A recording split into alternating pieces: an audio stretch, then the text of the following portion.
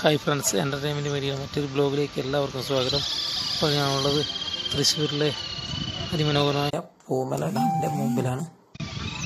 അവിടുത്തെ ഏതാനും ചില ദൃശ്യങ്ങളാണ് ഈ വീഡിയോയിൽ ഞാൻ നിങ്ങൾ പരിചയപ്പെടുത്തുന്നത്.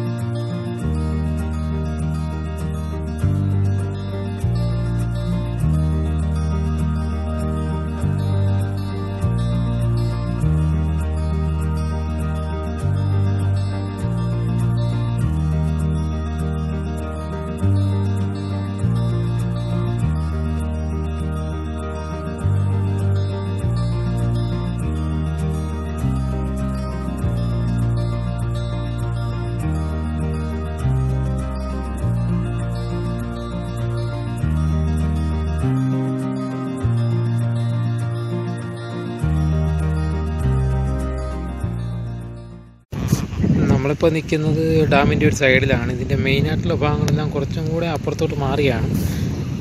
അതിന്റെ ഡാമിന്റെ ഈ സൈഡിലൂടെ റോഡുണ്ട് ആ റോഡിലൂടെ കുറച്ച് അങ്ങോട്ട് പോകണം എന്നാലാണ് അതിന്റെ മെയിനായിട്ടുള്ള ഭാഗങ്ങളെല്ലാം അപ്പുറം സൈഡിലാണ് വരുന്നത്. ഒരു സൈഡ് ഭാഗത്താണ് വരുന്നത്.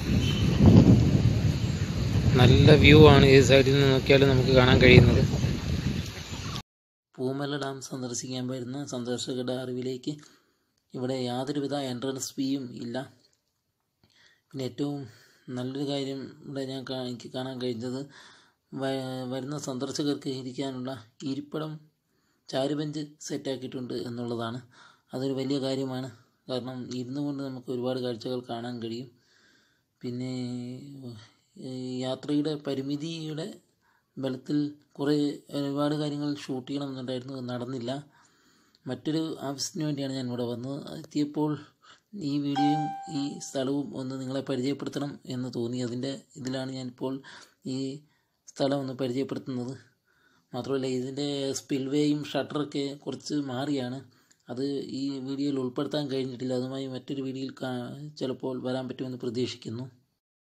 പൂമല ഡാം കാണാൻ വരുന്ന സഞ്ചാരികൾ ഒരു കാര്യം പ്രത്യേകം ശ്രദ്ധിക്കണം.